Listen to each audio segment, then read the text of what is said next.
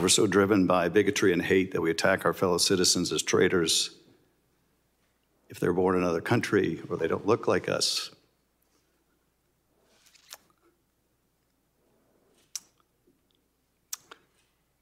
And,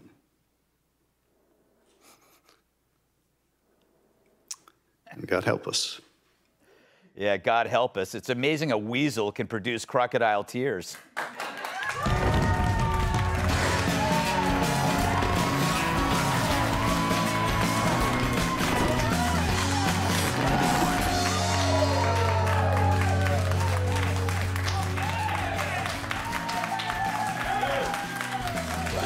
Yes, it's time. It is time once again for. Everything is racist. It's true. First up, remember the Chicago mayor who looks like she hasn't slept since 1972? I can't blame her. In that city, the constant gunfire will keep anyone up at night. Lori Lightfoot, racist, continues to defend her decision to only speak with non white reporters. You know, because that's what racists do.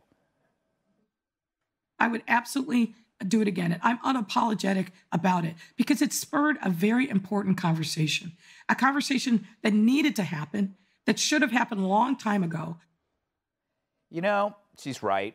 Her racist behavior spurred a very important conversation about how racist she is. I love that logic. Now, watch me start a dialogue on arson with these oil soaked rags and a Bic lighter. Sure, people died, but look how much we've learned about the importance of smoke alarms.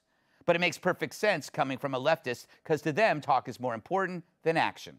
And Lightfoot much prefers the race conversation over the crime one. She's the Andrew Cuomo of Chicago. Only her bodies aren't piling up in nursing homes, they're piling up in the streets. And they're brown, and they're black, and they're young. Imagine if she were white. People would start asking questions like, is this deliberate? But dare criticize her over her record, you know what she's going to say. Mayor, in recent months, uh, there have been questions raised about your, your temperament and uh, your reaction to criticism. Uh, Tribune editorial used the term irascible. Uh, how much of this do you think might have to do with the fact that you're a woman, and partic- specifically a black woman? About 99% of it. Women and people of color are always held to a different standard. I understand that. I've known that my whole life. Why isn't it 100%? Her answers are as predictable as cats' hangovers.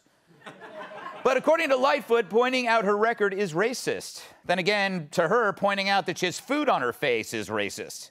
takes a special person presiding over mass murder to think that they're the victim. she expects you to bleed to death on the pavement, grateful your mayor is not some old white guy. But you know what else is racist? Comedy. According to racist author of White Fragility, Robin DiAngelo. So, comedy is um, I think it's an excuse to get to be racist, right? Like irony. And I think TV shows like Family Guy and um, South Park and maybe a little bit The Simpsons, right? Allowed white people to be racist self consciously, right? Like I know I'm being racist and therefore it doesn't count and it's okay. Mm, who better to tell us what's funny than someone who has stage four cancer of the funny bone? This grifter wouldn't know funny if you gave her the F U N N on Wheel of Fortune. so, funny white people are racist, cool. And writing a book generalizing about white people isn't. And what's more fragile than someone who can't take a joke? Think about it. The loudest voices shouting about racial inequality are often weak kneed, virtue signaling Caucasians. Yet, what have they done to correct the injustice and the inequality?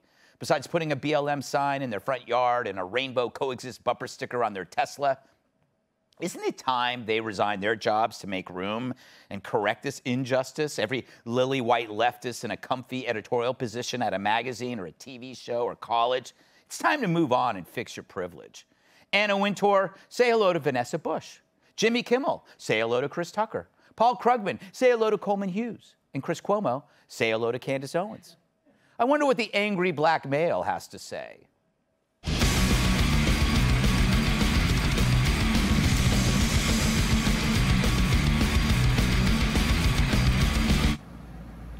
I knew I'd be hearing from you today. I'm ready today. All right, all right, kids. Let me break this down for you. I got a yellow apple. Hi. And I got a green apple. Hi. What? You don't talk to yellow apples? Because they're yellow? Oh. Oh, racist apples. Oh. And that's what your ass gets for being racist. He should have known better, right? Oh, I don't want to talk to you unless you yellow. You don't? Mm-hmm. Mm.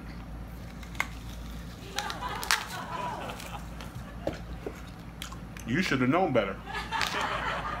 Racist ass apple. Still good though. That's up. Nicely done. So if you're white and find race behind everything, it's time to put your money where your motor mouth is. Get out. If you're, you know, you're big on a $15 minimum wage, so give it a try. How great would it be to have Brian Stelter say to you, you know, you want to supersize that? Just check your fries before you leave. but if you don't quit, then clearly you're the racist, thinking you deserve that job over a person of color. So until all white leftists resign their jobs, we must all hold them accountable. Either step up or shut up. Let's start by demanding that every white person at CNN resign immediately. Mm, But then again, with their ratings, who's going to notice? Let's welcome tonight's guest. There's no copay to see her tonight. Fox News medical doctor Janette Nesway. Ness what? Ness what? He's got a face for comedy and the looks of a Starbucks barista. WesternRazor.com spokesman David Angelo. Yeah. Once you get to know her, she's even worse. Fox News contributor Kat Timpf. And if he says he's so hungry he could eat a horse, hide your horse. My massive sidekick and host of Nuff Said on Fox Nation, Tyrus. Since the topic is comedy, David, I want to go to you first. As a racist comedian, do you think comedians are all racist? Uh, no. I know. I do think it is funny though that the de facto expert on racism in America right now is this white woman. Yes. It's like, guys, we need to elevate the voices of you know people of color and all this stuff, and then she just comes in like, "Hey, I got, I'll handle these questions. let me take the, let me take the lead on this. All right." Yeah. I would love to know how many black people live within five miles of Robin DiAngelo's house. Mm-hmm. Can we get a survey on that? Yeah. I actually, I actually have the facts here, David. I'm glad you asked. There's no, there's no way. Yeah. it's true. She's like the what you call the white racist whisperer, right? She's like, I know what they're thinking. That's what. That's how she got famous. Yeah, I mean, a lot of them they do it. They, I think they have latent racist feelings, and they do this as like overcompensation or something. Mm-hmm. But you know, I, here's the thing: as annoying as she is, I still don't want. I, I still do always try to like better myself. So if there's like things like you know, I, I do really sincerely am like, is there things I can do? But she's so obnoxious, and they go so over the top. I think it actually hurts a lot of the reflection normal people would have because it's so much all the time. There might be, yeah, there might be some, there might be something there that we everybody could do better. But when you become, when the person becomes a parody, it's like you can't. It, she's funnier than Family Guy. Her book is better than The Simpsons. I mean, it's let's. It, she is absolutely hysterical. All right, Doctor, good to see you. I, I butchered your. n- I butchered your name. Yes, it was That's supposed to be guess what? Nesh what? Yeah. And then I just lost the T. That's okay. It's a good one. My sister, my mom, she's like, just tell them it's Janette. Guess what? Nesheiwat. And I've had that all my life, and it's always worked. So Have you thought about changing your name to work. something like Smith? Well, maybe shorten it a little bit if Yes, it's easier yes. for you. You know, we had a chat in the green room. I had a little bit of uh, heartburn, and you said I should get an EKG. Yes, that's right. That's a lot for heartburn. well, how do we know it's heartburn? A little chest pain, a little pressure, a little nausea. Ah. Just want to be safe. We got to protect you, Greg. we want to keep you healthy.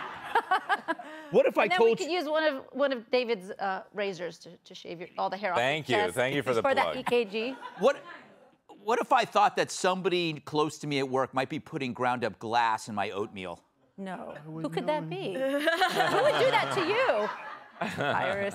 So you, know, you if if the United States was a patient, right, and you see this constant obsession with race and everything, what would be your prognosis as a doctor? Are you worried?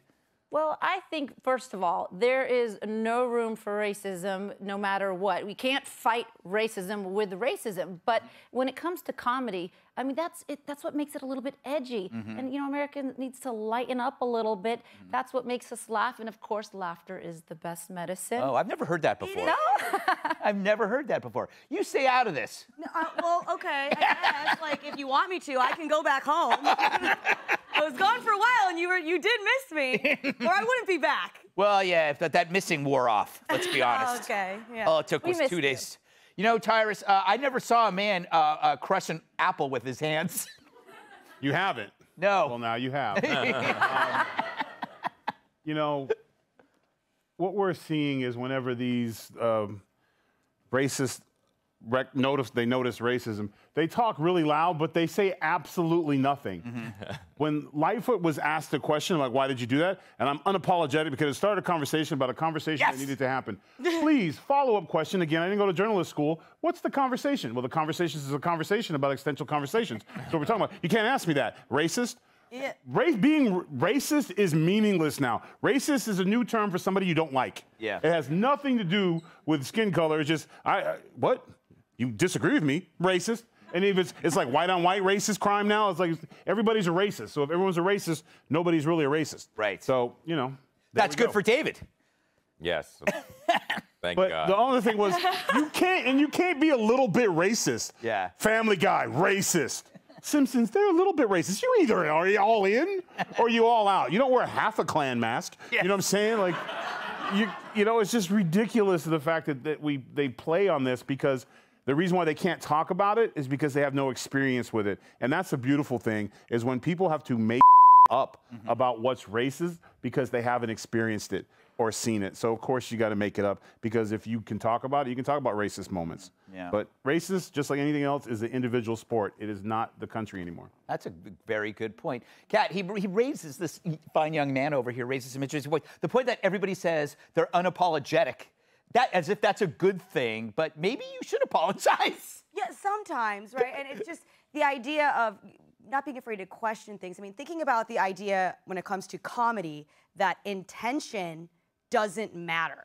And she's saying, okay, like, you know, punching up, don't punch down. It's like, how about a more important question is, is this supposed to be a punch? Or are you trying to make people laugh? I think that is a very important distinction because intention matters in everything else in life. It matters when a person kills another person. Are you saying that the one thing that's so serious that intention can't matter is jokes? I don't buy it. This is a this is probably one of the most important points you have ever made. Oh, thank you. No, it, it, because people now, these these uh, anti-racist uh, activists say intention doesn't matter Of when they it preface things. It's like it's like when you when you were t- when you're teaching, let's say, is it Huck Finn? And it's got the racial slur in it. And if you if you're the teacher and you bring it up, you will lose your job because intention doesn't matter, right? Right. So, like, if Tyrus, if he, you know, instead of the glass and the coffee seems premeditated, but if he drives your, his car, accidentally hits you, then he's that's manslaughter. Really? Mhm. Interesting. Yeah. There you go. Yeah. All right. He's clever, though. Up next, violent criminals attack, but liberal laws make it hard. Hey, Sean Hannity here. Hey, click here to subscribe to Fox News YouTube page and catch our hottest interviews and most compelling analysis. You will not get it anywhere else.